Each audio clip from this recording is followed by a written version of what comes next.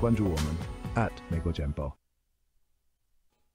Hello，大家好，欢迎关注啊今天的这个华尔街论坛啊。那么在节目开始之前呢，还要是啊补上昨天没有完成的这个这一部分，就是感谢在这个八月五日啊打赏我们昨八月五日华尔街论坛直播的各位观众啊，感谢麦团、冰原啊、云水金山、David。艺人以及杨天啊，感谢各位的支持。那么，如果啊这个不愿啊不介意的话，也希望各位动动小手啊，在今天的华尔街论坛中啊，也是给我们打赏一部分啊。有你们的支持啊，我们这个就更有继续做下去的动力。那么，在节目开始之前呢，其实啊就在今天上午啊，那么这个贺锦丽是正式的，也不能说正式吧，就是说经过多家西方权威媒体的一个报道。啊，更加佐证了贺锦丽已经选择了他的竞选搭档。那这个人啊，不是我们之前讨论的宾州的夏皮罗，也不是亚利亚利桑那州的凯利，而是一个啊颇为让大家出乎意料，尤其是让这个共和党这边啊比较感到意外的人选。那他是明尼苏达州的州长啊沃尔兹。那么这个消息出来之后啊，那么我第一道第一个留意的是。呃，挺挺有意思的一个评论，这个这些评论啊，可能是来自于明尼苏达州州民的评论。他们在讨论啊，在之前啊，讨论沃尔兹是否可能会被呃贺锦丽挑选为竞选搭档的时候，他们的第一个反应是：你们这个白宫不要拿走我们的州长，因为我们更需要他。这个评论是比较有意思的。那么呃，作为一个比较意外的人选啊，那么。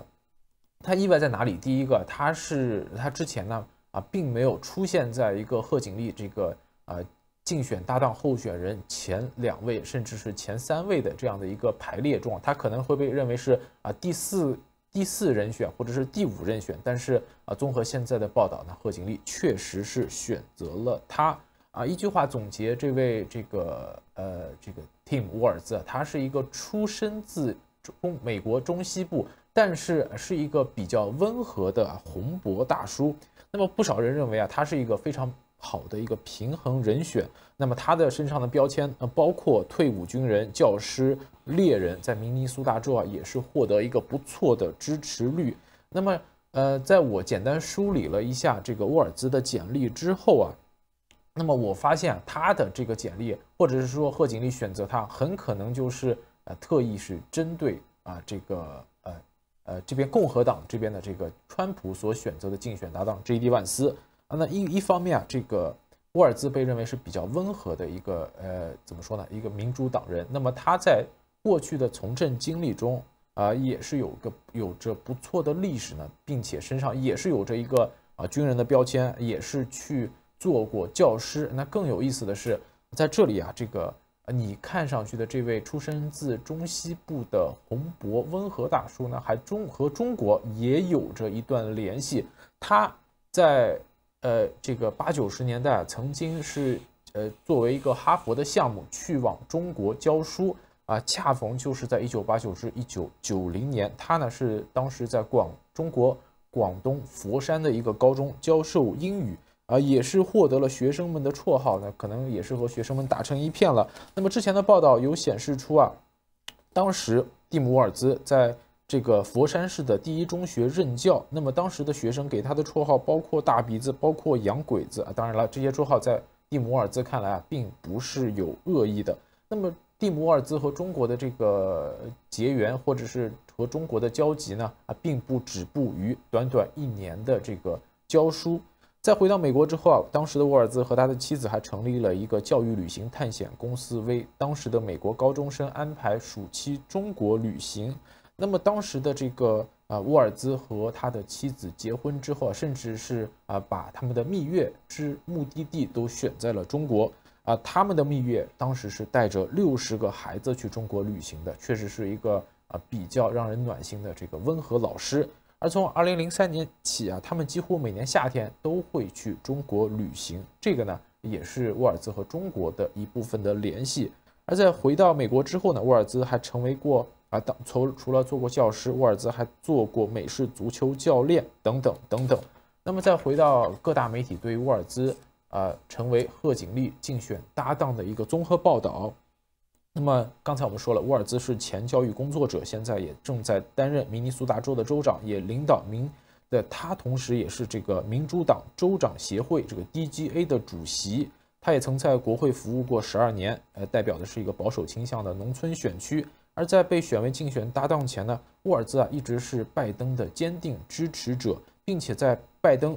呃做出退选决定之后，迅速对啊贺锦丽表达了支持。沃尔兹的选择也强调了这个贺锦丽竞选团队中对中西部这个蓝墙州，也就是说中西部啊比较摇摆的州的一个重要性。呃，那么。沃尔兹也以他直言不讳的风格和对川普及其支持者的尖锐批评而著称。在前段时间呢，沃尔兹的好几场公开演说中啊，也是啊有这样的这个惊人的言论，比如说啊，那在未来的一百天，你有什么样，你能以什么样的方式啊震惊整个世界等等等等。那么也是为整个民主党进行打气。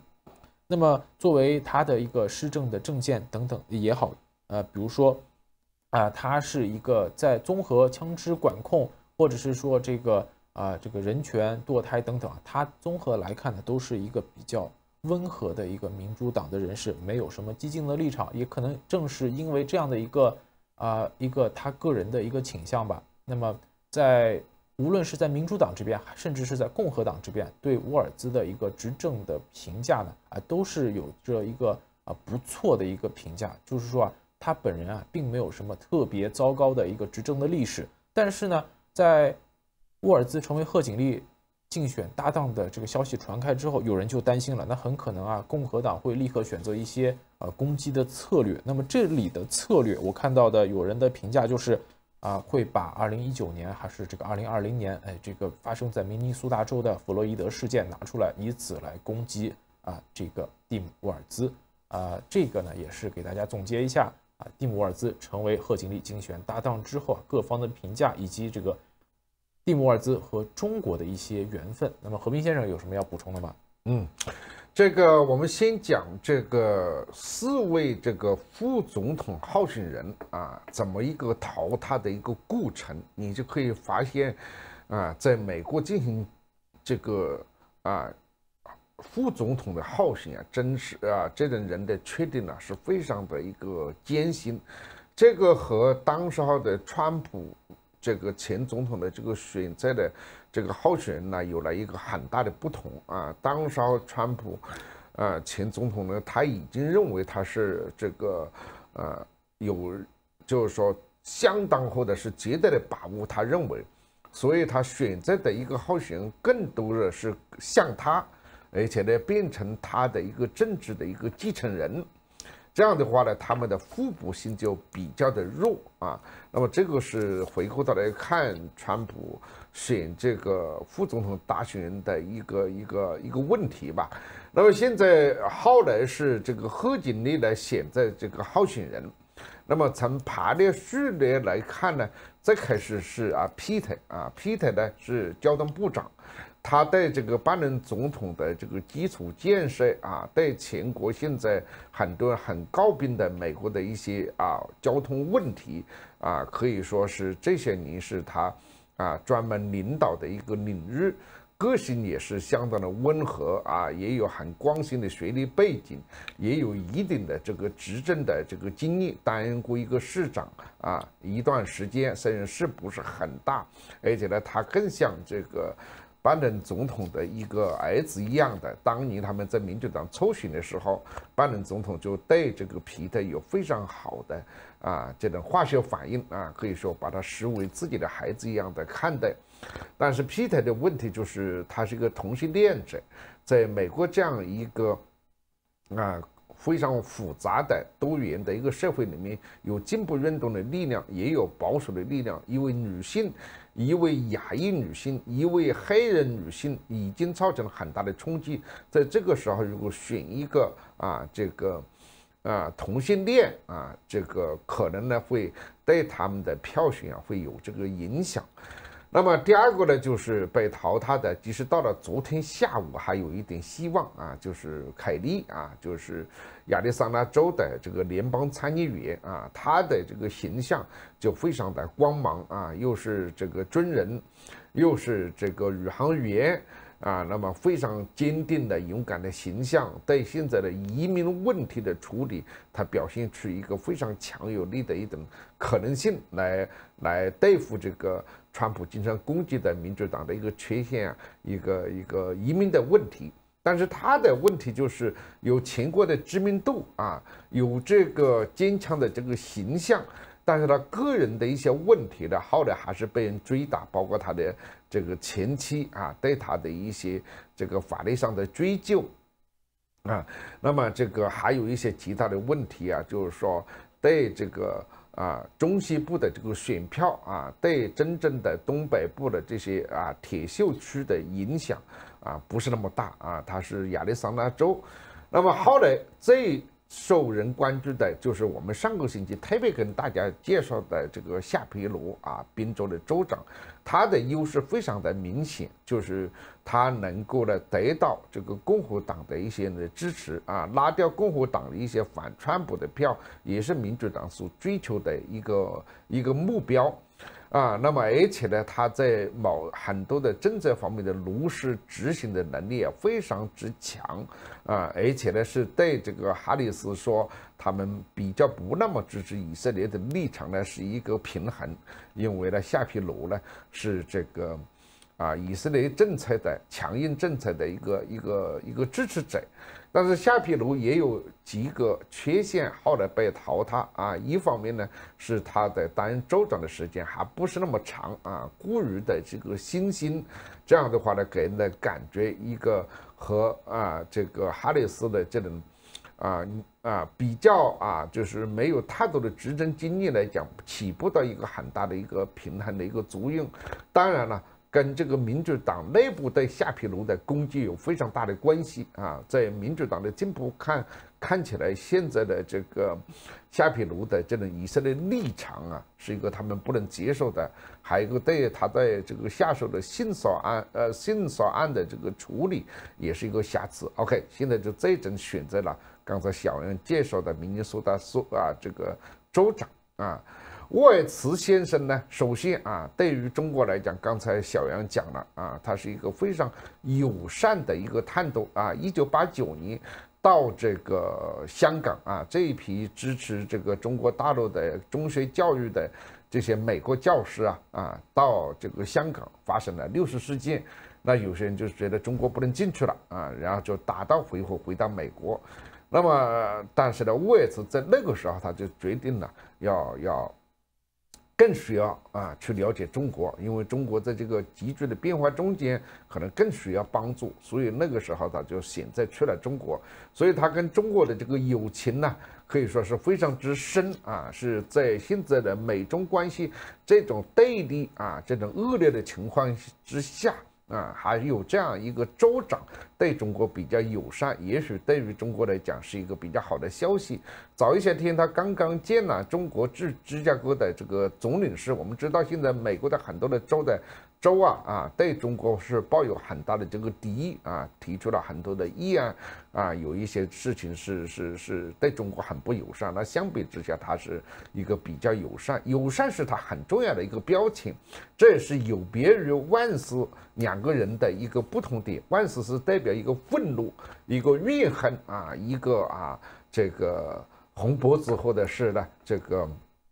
啊这个被抛弃的。被遗弃的啊，这样一个乡村的悲歌，哎，这个万斯不是这样啊，万斯是一个呢啊，沃尔兹啊，沃尔兹的 不是啊，沃尔兹呢就相当的友善，而且呢，他是真真正的基层里面起来的，真正的草根阶层，整一个中学老师教社会学。啊，然后呢，在他不但是教社会学，他而且呢有很多社会的这个实际，包括他自己的曾经的经历啊，也是大多学生去参加这个竞选活动啊，大学生去参加一下，哎，结果他的其中的学生里面啊，这个钱包上面有啊这个竞选对手的一个标记，然后呢，他整个团队就不能去参加这个竞选活动，使他感觉到非常的沮丧啊，这种他就来来参政。啊，那么他也在国民啊警卫队的陆军啊服役二十四年啊，可以说是基础建设美国的社会治安、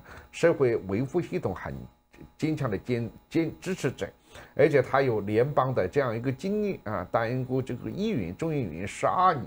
在众议员中间呢，他属于一个比较中间的一个温和派，但是他还是呢。跟这个右翼的组织啊有很多的联络啊，甚至是全国强制委员会的啊一个一个一个支持者。但是他后来成为州长之后啊，他又是枪支管制啊，都推很多的进步运动的一个执行者啊，所以他被认为的他的务实精神呢非常的强。现在明尼苏达州呢也被认为是建包容性很强啊，多元性很强，然后呢有这个进步的这个色彩，是一个草根的一个进步人士。这个和